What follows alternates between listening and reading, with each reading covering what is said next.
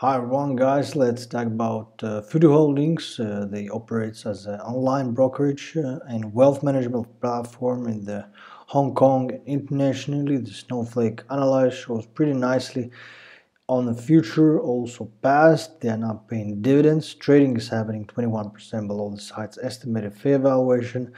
Earnings are forecasted to grow almost 30% per year and uh, the earnings grew already by 476% over the past year. They have strong fundamentals. On the risk side, they have high level of depth, volatile share price over the past three months. So we've seen that regulators on the market has been pretty rough and we saw the mid-February the peak was around $200 per share and since that it decreased already by 66%. So they have actually good price targets, $156 per share. It means 146% upside. In good scenarios, the 12 month forecast looking pretty nice, uh, $171. And I'm not sure about MarketWatch, what, what is the counting, but here's uh, even better price targets in good scenarios yeah 1500 and 513 on average thousand so i'm not sure about that numbers but uh, anyway they have also printed a lot of shares out and uh, that is diluting the shareholders. They printed a lot of the shares out last year and through the past year actually shares outstanding. If we look at that screen uh, 12 month last 12 month increased by 12 millions. But on the other hand the total sales are increased pretty well also because uh, from the 3 to 5 billion that's pretty nice growth there. The Futu Holdings competitors Lion Group Holdings price history. So this is actually the one of the prices that is also within the China's markets decreasing. So nothing new there. The regulators are still strong stronger than the fundamentals. And uh, but one of the things that I like in China stocks that they have stronger much stronger fundamentals but on the other hand, the risk side is the regulation in the country. One year return 105%. Price volatility is higher than the industries and also average market volatility. About the company, 2007 founded, 1300 employees and uh, yeah so this is actually Hong Kong dollars market cap 72 billion revenue 5 billion 2.6 earnings. So this is a profitable company.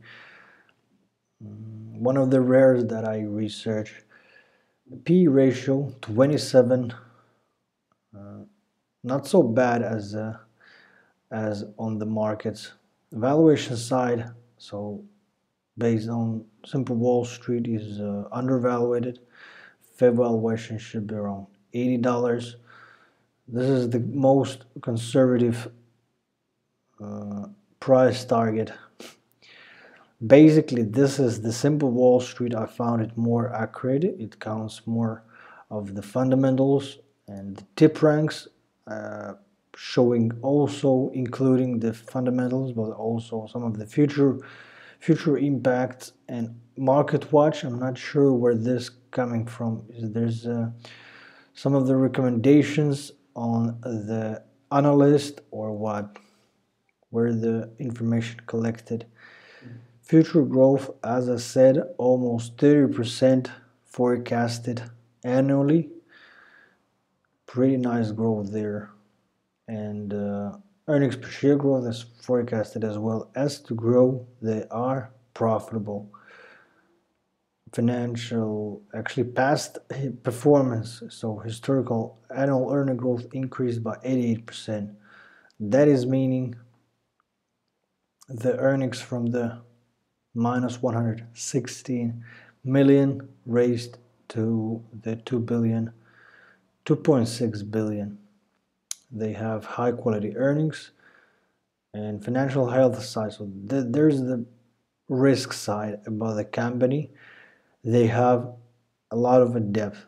So 34 billion uh, of the debt equity 20 billion and cash 1.7 billion.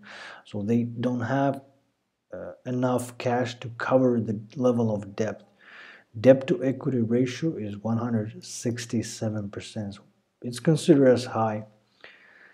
The balance sheet looks mostly green but there's a on the corner on the down corner on the liability side red red boat there. And they're not paying dividends.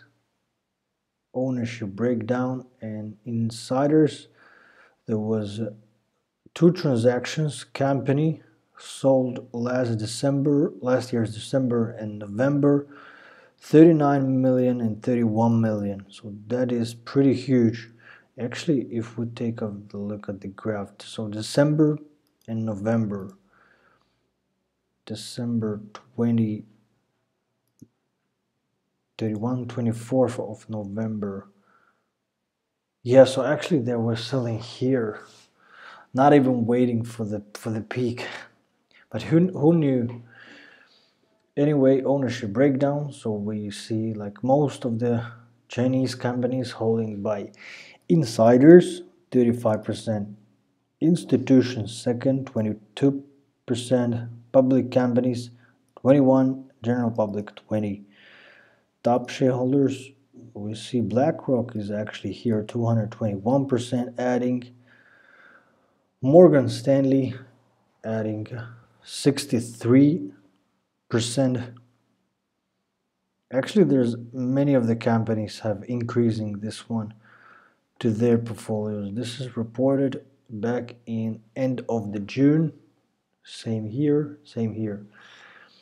But anyway, there's the tunnel. If we look at the technical analyze, so whenever the price was hitting the support level 100, it rebounds to the upper line, upper tunnel.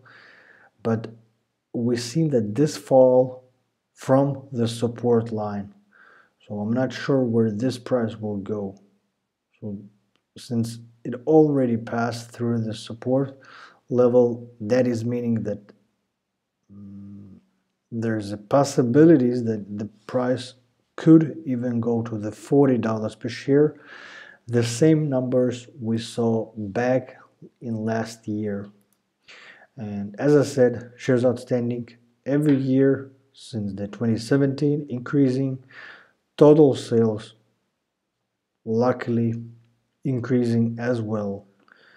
And investing.com by the way summarizing the stock for long-term investors as a sell thanks for watching this video. Subscribe to the channel like the video and see you in the future one